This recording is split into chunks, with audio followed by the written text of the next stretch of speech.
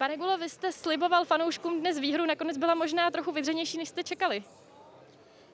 Tak, ale výkon bol veľmi slušný, hlavne v prvej časti nepremenili sme veľké množstvo šancí, ale veľmi dobrý vstup, solidná intenzita.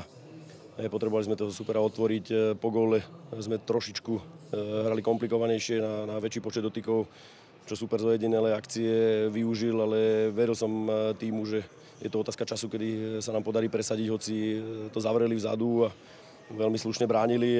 Je super, že sa nám to podarilo že chlapci to zvládli. Ďakujem fanúšikom, že podržali mužstvo. Bolo to pre nás veľmi potrebné a veľmi cenné, obzvlášť pre, pre chalanov, takže im gratulujem a ideme, ideme ďalej.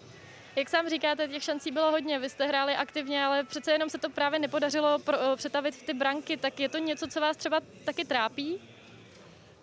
Tak trápí, ako určite tá ľahkosť tam dneska nebola, je to prirodzené, pretože sme potrebovali ten zápas zlomiť do víťazstva, ale sú dni, proste v živote fotbalistu, keď potrebuje zlomiť zápas aj trošku nejakým iným, iným spôsobom a hlavne to dneska bolo tímové a podržal nás Hrušom za stavu 1-1 je proste veľmi dobrý zákrok a tým pádom sa mužstvo to mohlo oprieť a dokázalo zápas zvládnuť do víťazstva, čo je veľmi cenné a samozrejme je to priestor na to, aby sme v tých finálnych vstupoch, v tých finálnych prihrávkach, lebo tých početnosť tam bola veľká, boli ešte presnejší a produktívnejší.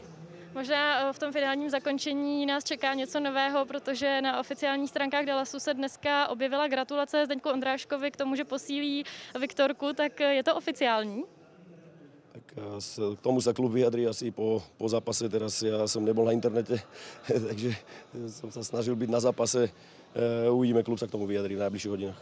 A těšil byste se na něj?